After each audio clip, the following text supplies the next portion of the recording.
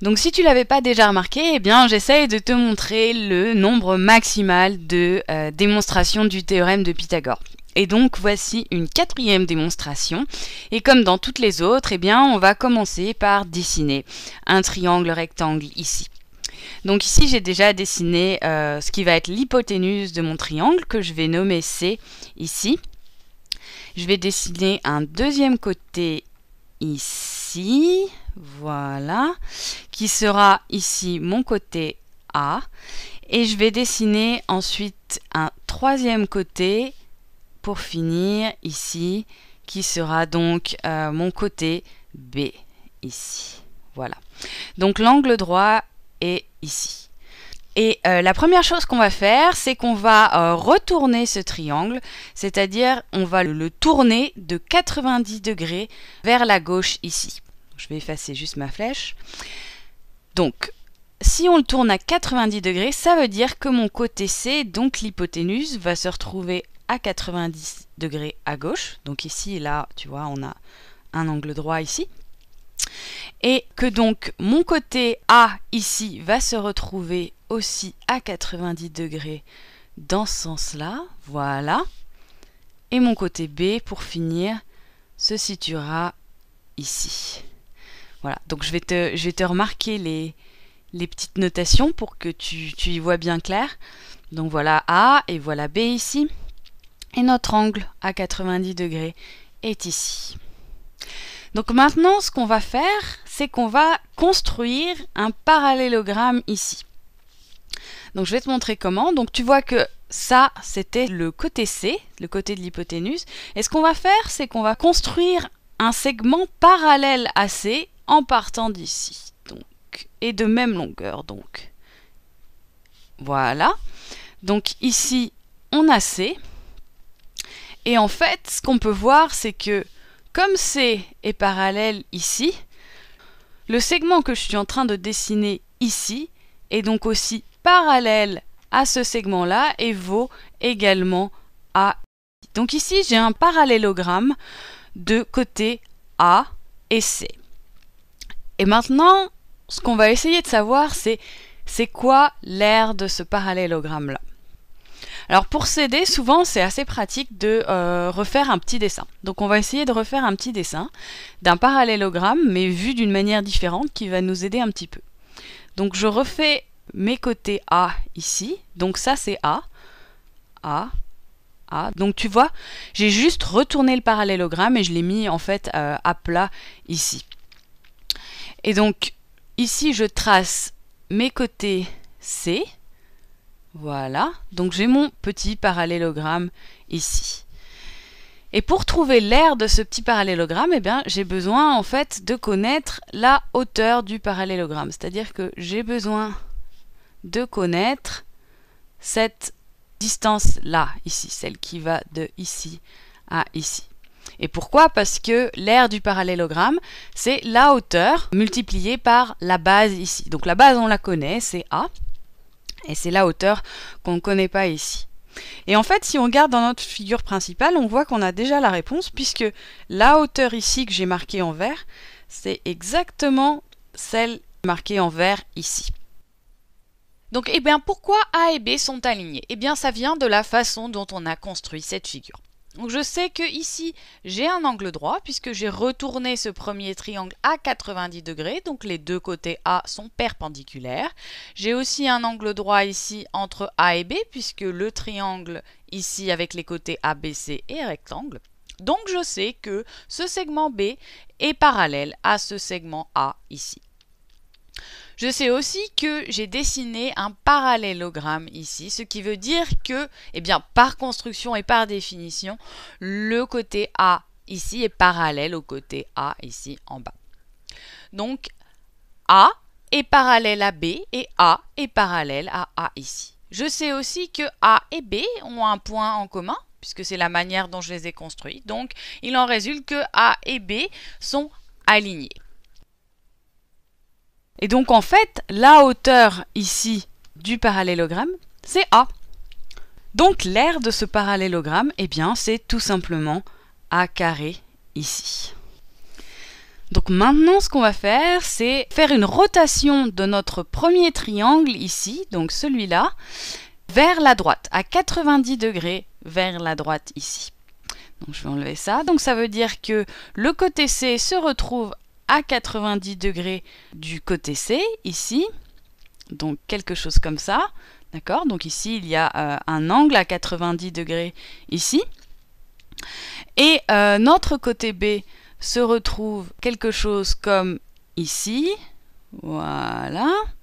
Puisqu'il va être aussi lui-même à 90 degrés vers la droite par rapport au premier côté B ici. Donc je vais remarquer que c'est le côté B. Et euh, le côté A sera donc ici.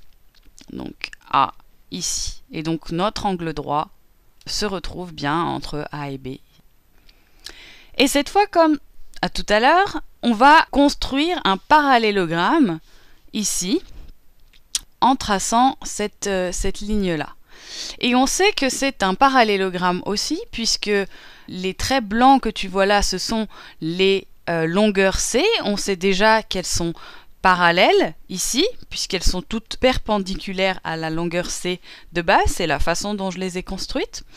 Et on sait aussi que cette longueur B là en jaune va être égale à cette longueur B là euh, en jaune aussi. Et donc cette figure là est un parallélogramme. Et de la même manière, on voudrait savoir l'aire de ce parallélogramme ici. Donc comme tout à l'heure, ce qu'on va commencer par faire, c'est qu'on va dessiner le parallélogramme juste pour bien comprendre comment trouver l'aire de ce parallélogramme-là. Donc on a nos bases B ici et on a euh, aussi nos côtés C ici qui sont parallèles. Et ce qu'on veut savoir, c'est comme tout à l'heure, on aimerait avoir une idée de la hauteur de ce parallélogramme, c'est-à-dire de cette euh, distance-là que j'ai mis en vert. Et la première chose à remarquer, en fait, c'est que dans cette figure, les segments B, ici, et le segment A, ici, sont alignés. Et pourquoi? Eh bien, ça vient de la façon dont on a construit cette figure. On a construit cette figure de telle manière que cet angle-là soit un angle droit et que cet angle-là soit un angle droit aussi. Donc, ce que ça veut dire, c'est que le segment B, ici, est parallèle au segment A, ici. Et on sait aussi qu'on a construit cette figure ici, là, comme étant un parallélogramme tel que le segment B ici en jaune soit parallèle au segment petit b en jaune ici au-dessus. Donc on a ce segment B là en bas sur notre triangle initial qui est parallèle au segment A, mais aussi parallèle au segment B. Et on sait que A et B eh bien, ont un point commun ici. Donc ces deux segments-là sont euh, alignés. Et en fait, de la même manière que tout à l'heure, on voit que la distance entre ce côté B ici, là en bas, et ce côté B en haut, si on trace un peu plus loin, donc B et A ici sont alignés, donc en fait la hauteur de mon parallélogramme, c'est cette longueur B ici. Donc la hauteur de ce parallélogramme, c'est aussi B ici. Et comme l'aire d'un parallélogramme, c'est la longueur de la base fois la longueur de la hauteur, il en suit que l'aire de ce parallélogramme ici, eh bien, c'est B carré. Donc ça commence à être intéressant ici puisqu'on a trouvé que l'aire de ce premier parallélogramme était A carré et l'aire de ce deuxième parallélogramme était B carré. Alors maintenant ce que je vais faire c'est que je vais prendre une partie de cette figure que je vais copier-coller euh, à côté ici. Donc je vais prendre cette figure là et je vais la copier et la coller ici. Voilà. Et donc, ce que je vais faire, c'est que je vais effacer les parties qui ne m'intéressent pas trop ici, ici, voilà, voilà. Et donc, je vais m'intéresser à la figure qui me reste ici. Et c'est en fait assez facile maintenant de savoir l'aire de cette figure-là. L'aire de cette figure-là, je la connais, c'est a carré plus B carré. Donc je le note, voilà. Donc ça c'est l'air de toute cette figure-là, donc de ces deux parallélogrammes ensemble. Voilà. Et donc Là maintenant ce que je vais essayer de faire c'est d'exprimer l'air cette fois-ci non plus en fonction de A et de B mais en fonction de C. Et pour ça je vais retracer ici un segment. Voilà. Et ce que tu peux voir c'est qu'en fait ce segment là c'est C. C'est vraiment le segment C puisque c'est le segment que j'avais ici à la base, si tu te rappelles bien, et donc qui est le même que ici, là. Donc c'est vraiment C. Donc en fait, ce triangle ici, c'est exactement le même que ce triangle. Alors laisse-moi redessiner ici. Ce triangle ici. Le premier triangle que j'ai dessiné en bas ici. Et donc ce que je vais faire, c'est que ce, bout de, triangle là, je vais le, déplacer en fait ici en bas dans ma figure. Donc je vais l'effacer en haut ici. Donc je vais l'effacer en haut ici. Donc c'est-à-dire que je l'enlève en haut de ma figure ici. Voilà. Et donc ici, en fait, je me retrouve avec une figure qui a exactement la même aire qu'avant, c'est-à-dire c'est toujours a carré plus b carré ici. Et je sais que ce côté-là en haut vaut c, d'accord Comme ce côté-là en bas, et comme mes côtés gauche et droite ici. Et donc l'aire de cette figure-là est égale à a carré plus b carré, puisque j'ai juste déplacé le triangle du haut en bas, ici.